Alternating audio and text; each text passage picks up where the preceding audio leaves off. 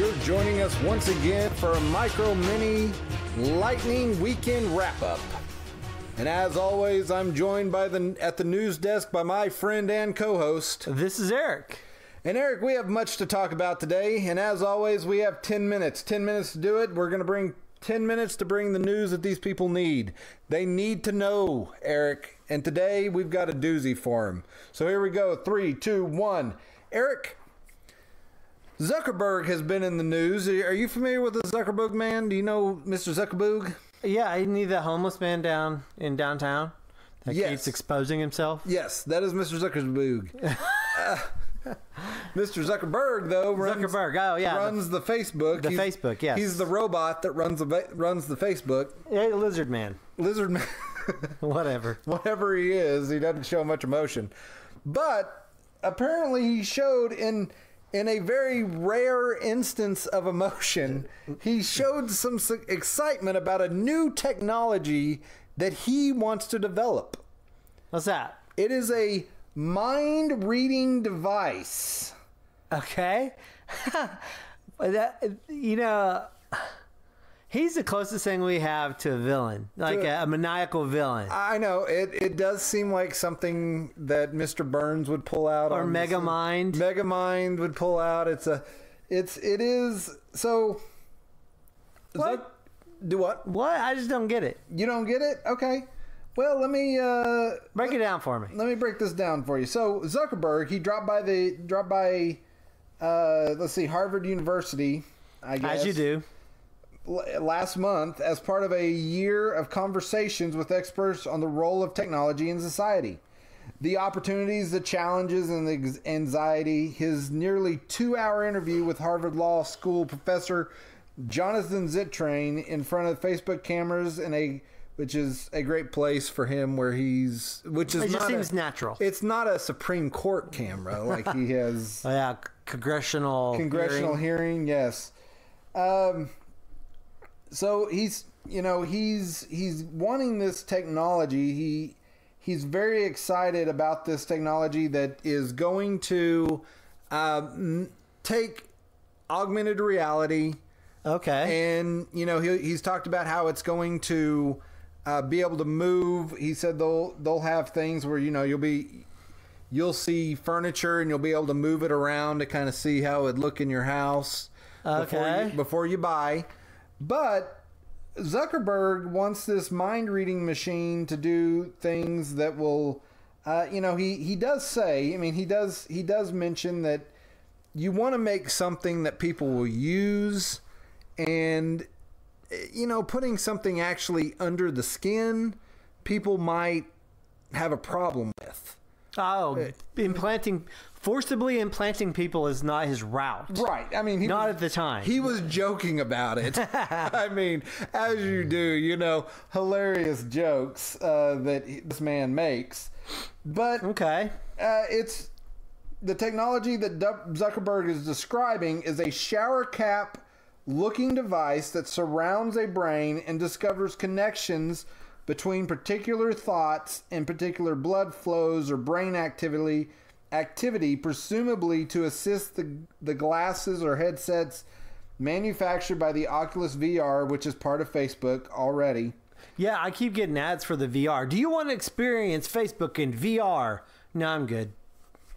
okay You not seen those ads? I have not actually Oh wow. Yeah, you're not on Facebook very often. I'm not. I actually never. I have Yeah, you're not on- I have stepped away. I still have an Did you? account. Yeah, you. Yeah, you have an account. I have an account floating out there, but I really only used Facebook ever for like getting on and looking at pictures of my nieces and nephews and that sort of thing. But I, uh, yeah, the ads are all over it now. Experience like VR, Facebook for VR, VR for Facebook, whatever it is. but I guess if we actually have a, uh, you know, we have people. I get emails every once in a while that people are visiting our Facebook page. So maybe we should get back out there.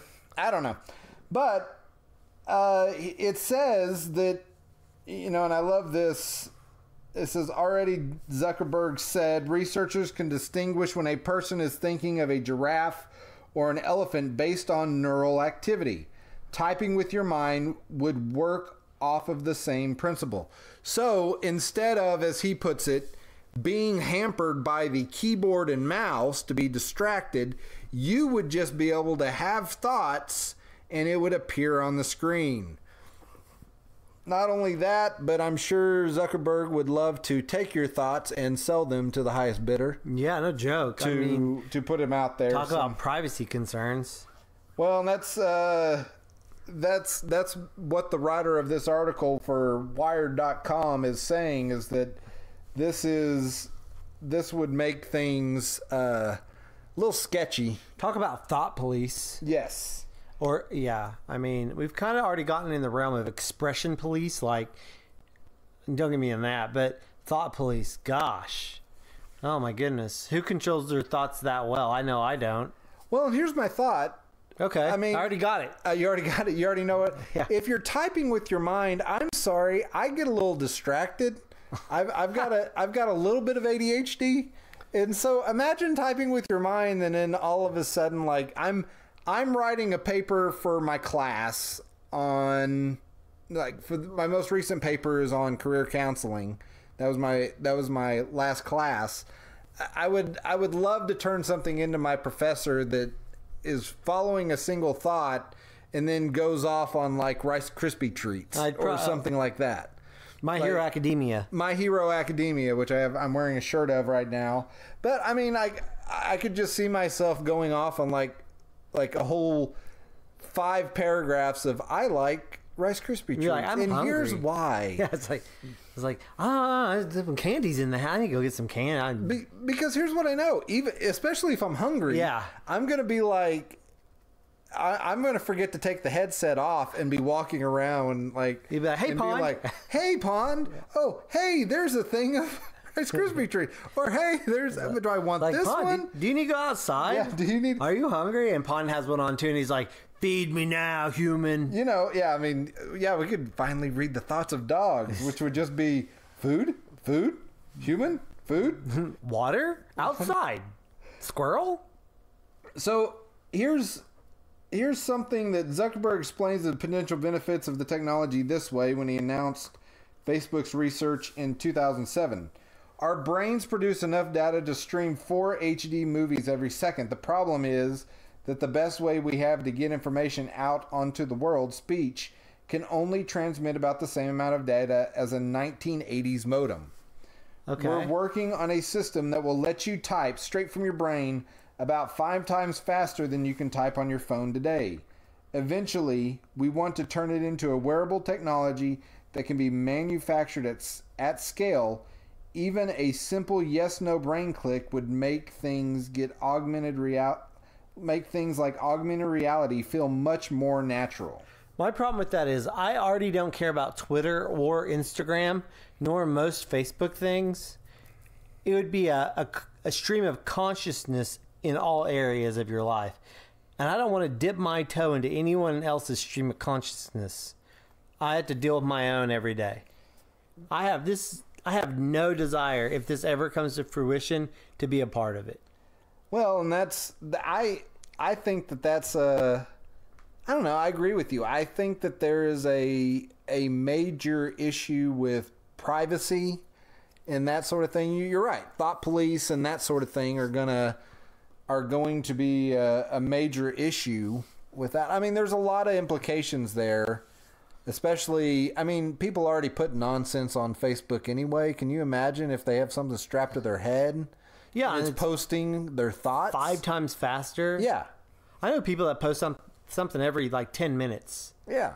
And And and, literally they'll post, "Hey, I'm hungry," Yeah. which would be about my post every five seconds. But yeah, I, I just I, I honestly don't in in a social arena see the benefit of this. That's me, but of course I might have said the same thing about internet. No, if I was if I was around reading articles about that back in the in the eighties. Well, so and it's hard to believe that I can only talk at the speed of a modem that went, you know, where- that sort of you- where's your modem at? I just heard it go off. I know, I know. By the way, just I wanted to bring up another story that's been big, but uh, there is a story of a woman that got mauled by a jaguar, and this is proof that some people shouldn't be allowed to have their thoughts on Yeah. on a computer. But this woman was apparently taking a selfie, which she actually denies. But she was taking a selfie, went past some barriers that were apparently clearly marked, and ended up getting mauled by a jaguar. All the right. jaguar is not being put to death, but she was But she is. yeah, but she is now. She is very apologetic. She is she is taking uh, credit for her mistake. She's, but- I'm taking ownership of it, except for my lies that I didn't want to get a selfie. I just want to get near and pet it. right, like I wanted to get right there. I can imagine that the selfie was her taking a picture, smiling, and the jaguar was like right behind her, about the He snuck up on me. yeah, like it's. Hey, me and my homies. Like, and no, he just photobombed my uh, my selfie. he photobombed. Like, I'm suing you for your Jaguar how doing that. dare you photobomb my selfie? Well, Eric, we have run out of time. However, there is time one minute okay. for a segment that I like to call Eric brings you the news. Eric tells you the news. I'll tell you the news. Eric tells you the news. Yeah. that's the jingle. Okay. Yeah. All right. So in one minute, I'm going to read to you headlines, and you tell me what that story is about. Okay. All right. Three, two, one. All right. Hordes of vultures take over South Jersey town. What is this story about, Eric? Uh, Walking Dead. Uh, clearly, Jersey ha- is filled with zombies. That's no no change. But the vultures have finally found it. Okay, so vultures are taking over just like The Walking Dead. So it's the Flying Dead. Yeah, I mean, but it's Jersey. Okay. California's marijuana industry needs an intervention to avoid an extinction event. What is that story about? Uh, there's so much pot being grown in uh, California that they aren't they aren't growing any crops anymore, and so therefore no one has any food. All right. Forgetting works brain harder than remembering. What? Forgetting works brain harder than remembering. Ah, I got that. Uh, false. All right, time is up. Oh, if you want to learn more about those stories, you can look them up and you can tell us if Eric was right or not. All right, Eric, why don't you tell them where they can find us? You can find us all over the big, beautiful internet. Uh, by beautiful, I mean a apocalyptic scene of nightmare proportion that is brought to you by Zuckerberg. In fact, speaking of Zuckerberg, you can find us on Facebook. Just search for Pull Up A Chair Podcast. Same for YouTube, uh, Podbean, iTunes, any podcasting app. You can find us. If you're already Just think about pod. Just think about Facebook, and you'll be taken there. Just think of uh, the the year of the chair, and you'll find us. Uh, so you can find us there. We have our own website, puckpodcast.website, pucpodcast.website. Why website? Why not? Uh, and that's about and Twitter at pull up a chair pod. Uh, if you have any questions or statements, or you want to tell us how awful we are, always happy to to listen and agree with those statements. That's right. And just think, Zuckerberg, he can sense when you're thinking about him. He has that kind of creepy robotic power.